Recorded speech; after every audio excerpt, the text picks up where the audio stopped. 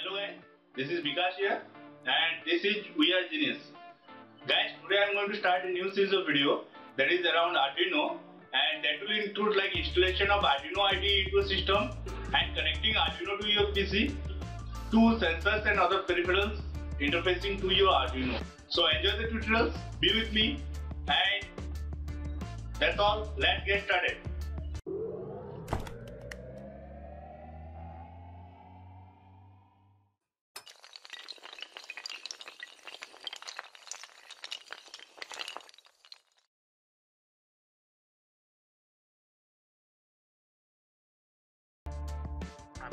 Arduino board, one and only thing required for Arduino programming is the Arduino IDE.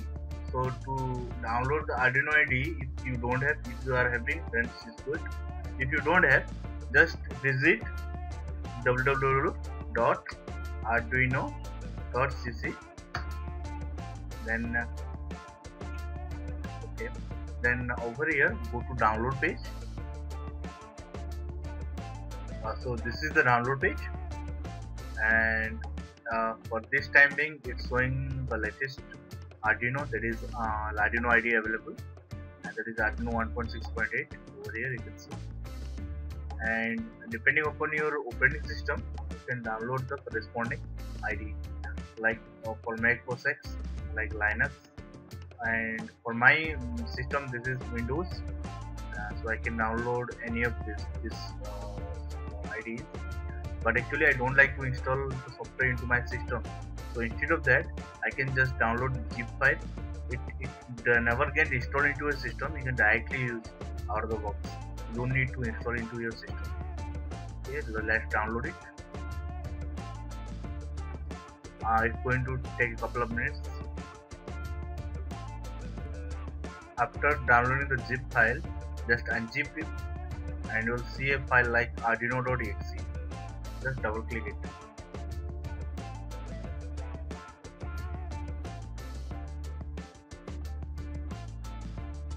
Now as soon as you open uh, you may file uh, find a file like this where uh, there is like one setup and some demo codes or something like some demo codes you can say and that's just it nothing else.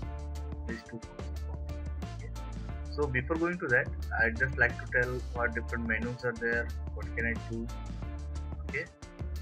First thing first this button is to verify. Suppose you have written some code and you don't want to check it after uploading or something right?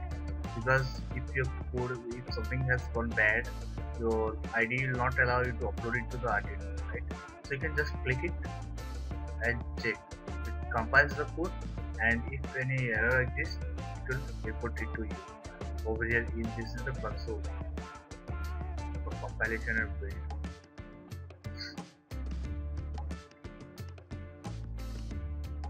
Right over here, the source and uh, I've used zero uh, percent of dynamic memory. Okay. Let's say I'll uh, I write something wrong over here. Let's say code underscore, and I'll click on verify. Okay, it's asking me to save the state it I can just go to uh, like my desktop and I can save with any file name. Like right now I'm saving tutorial. So you can see here it is showing like was not declared in the scope. That means some error is required I have just turned off value rights so it detected it and showing. So next button is like upload. After you completed your code everything checked uh, like we have finalized you can just click on upload button. So what it does is it compiles the code and just it's showing some error because my system is not connected to Arduino right now. But uh, when I get connected it will, it will definitely upload to my Arduino. Next is new. Like if I want to open a new tab or new code I think it will uh, like open I can just click on it and open a new file next is your open suppose I want to open some old files or something from my inbuilt library or library which I have added separately then this is save button suppose I have written something I don't want to compile it I just want to save it. So I can go click that button and save, save, it. And this is the serial monitor. Suppose I'm communicating with my Arduino like some serial communication, like I want to put some system data into the system. So I don't want to go for a separate for serial monitoring. Arduino has it. I can just click it. Okay. So I, it will just pop up a serial window. I have not connected to Arduino. I'm not connected to Arduino. That's why it's saying board at comp is not available. These are the all basic menus. Those we are uh, going to work with. So after you have attached your uh, Arduino, I'm not going to show you how to install driver and connecting the Arduino to the computer. After uh, you just uh, do it yourself, or if you uh, have some confusion or you, you want to know about it, leave it in the comment. I'll reply to you. So after connecting Arduino to a USB cable to a computer, go to tools here you can see four different ports are there. Like mine com1 com15 so select your port where the arduino is connected actual arduino is connected. You can just verify it over here. Go to your my computer right click it go to manage.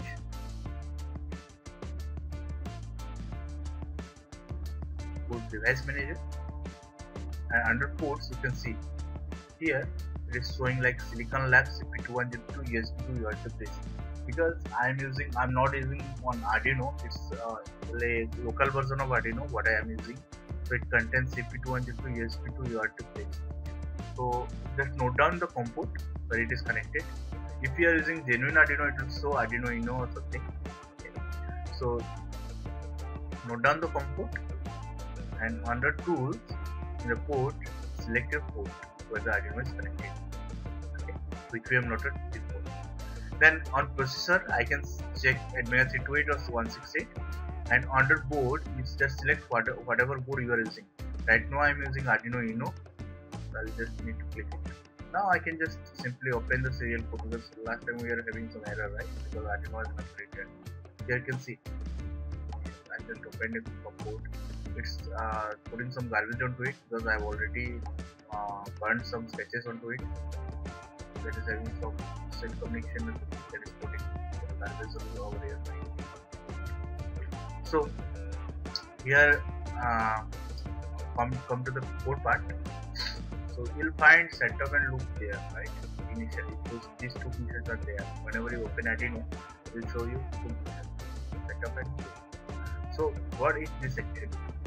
So you uh, must have understood that uh, whenever you are going to program at uh, something like embedded systems, microcontrollers and all, it's just like we definitely write the intent while loop, right? While two or while one something.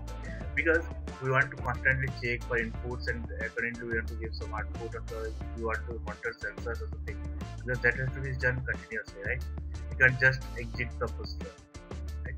So Arduino is uh, derived in a nice way because here they have separated like you don't want to write uh, write like main code or something like we write in C, C++. So they have provided two simple functions like setup and loop. Setup contains all the code; those are executed once only. Like if you want to put a API of uh, your Arduino, like input or output, you can just define over here. And loop contains code which are executed uh, in, in regular interval like suppose I want to check uh, pin 1, 2, 3, 4 or I want to check any analog pins I can write down the codes of the okay. so, so let's say we'll just going to set up a simple code write down a simple code. So without writing yourself you can just go and check out some libraries already over there like examples. I can go to basic and uh, just for checking I'll check the Blink program. Uh, coming to the program over here it's uh, actually something like header is developer on the setup you, can see like pin mode 13 out we are going we'll go to that next uh, tutorials or something.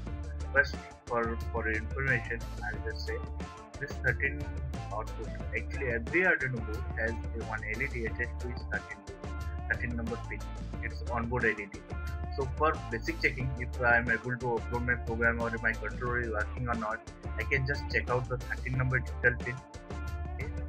because it contains uh, it is having a LED. I can check if it is uh, like getting high or getting low. I am putting uh, like I can just blink it to check. So this is simple code that makes 13 number pin output. As you can see under setup, it has only put the code which has to be executed once. Like it has made the pin 13 as output. So coming to the loop, here it is making data write 13 times and making the pin line after certain detail like delay 1 second and 1 second and data write and after that is uh, and after that is so this is what is going to do is like it's going to bring the attached LED input editing in every one second on and off. So this is all guys for starting. So we'll uh, learn something in, uh, like how to program it how to uh, read analog pins and all in the next tutorials. Or in the meantime you can just check some example codes over here. Thank you. Thanks for watching. Hi guys. It's me once again and hope you have enjoyed the video.